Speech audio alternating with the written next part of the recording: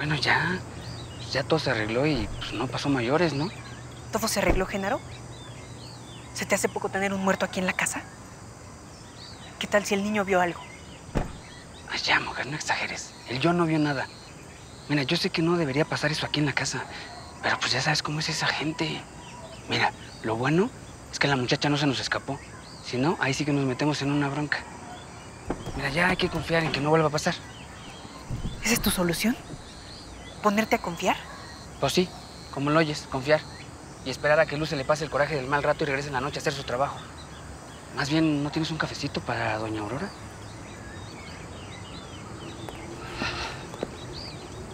Disculpe, doña Aurora. ¿Tendrá un minutito? Sí, claro. Es que quisiera pedirle un favor. Quería pedirle si...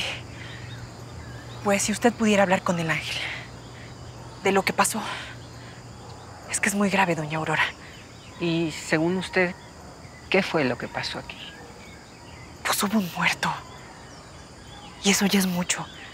Esa mujer es muy peligrosa. Si fue capaz de hacer eso a uno de los hombres del ángel, imagínese lo que sería capaz de hacernos a nosotros.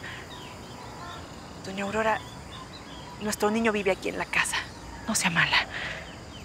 Todo lo que pasó fue culpa de Chuy. Yo, pero fue demasiado. Yo le prometo que no va a volver a ocurrir. Perdón, doña Aurora, es que Melba está muy nerviosa por lo que pasó. Eh, sí, sí, tranquilo, Genaro. Melba tiene razón. De verdad, no va a volver a ocurrir. Tomás y sus hombres ya están advertidos. ¿eh?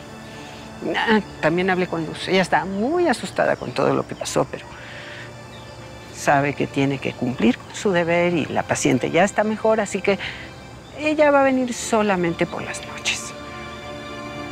Bueno, a ver, eh, traigo algo para ustedes de parte del ángel. Miren, no lo tomen como, como un regalo, es, es un pago por la ayuda desinteresada que nos han dado. Bueno, hagan con ese dinero lo que consideren conveniente. Cómprenle algo a su niño, un juguete, unas botas nuevas, lo que ustedes consideren. Disculpe, doña Aurora, pero con todo respeto, esto no es un asunto de dinero. Lo que queremos es que se lleven a esta mujer de aquí. Ella va a estar aquí el tiempo que el ángel lo considere conveniente. Sí, doña Aurora. No se preocupe. Por nosotros no hay ningún problema. Pero esperemos que todo esto se solucione muy rápido. No se preocupen. Yo voy a hablar con el ángel y le voy a comentar acerca de sus inquietudes. Mm, Tranquilos, con permiso.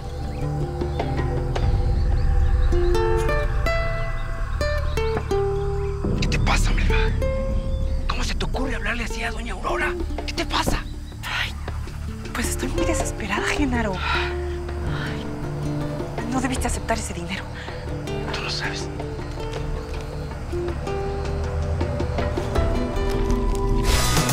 Ella es Rosario y era mera consentida del patrón. Así es que o te cuidas o te cuadras porque esto se acabó.